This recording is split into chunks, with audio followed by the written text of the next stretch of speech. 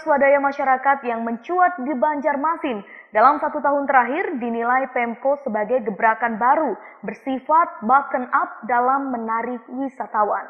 Namun lokasi tersebut baru bisa mendapat label destinasi dari pemerintah jika berlangsung konsisten selama satu tahun.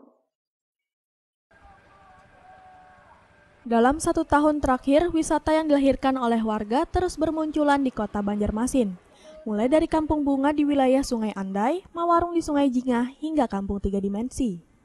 Munculnya wisata hasil swadaya warga ini bentuk support masyarakat di bidang kepariwisataan. Fenomena ini merupakan gebrakan baru bersifat button up atau dari dalam keluar untuk menarik wisatawan.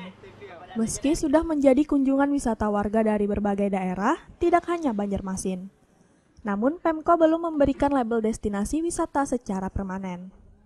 Menurut Kepala Dinas Pariwisata dan Budaya Kota Banjarmasin, Muhammad Ihsan Al-Haq, pihaknya akan melakukan evaluasi selama setahun sebelum menetapkan wisata swadaya warga sebagai destinasi rujukan pemerintah. Keinginan masyarakat ataupun partisipasi masyarakat tentu tidak terabaikan. Nah, jadi kita lihat dulu sampai akhir tahun.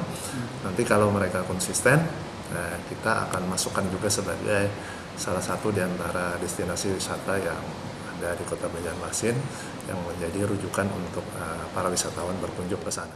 Saat ini ada 36 objek wisata yang menjadi destinasi rujukan dari pemerintah Kota Banjarmasin. Selain mengenalkan tempat tersebut ke daerah luar, Pemko juga memberikan fasilitas serta pelatihan kepada masyarakat guna menunjang para pelancong berkunjung ke destinasi tersebut. Dari Banjarmasin, Suhardian Ainus melaporkan.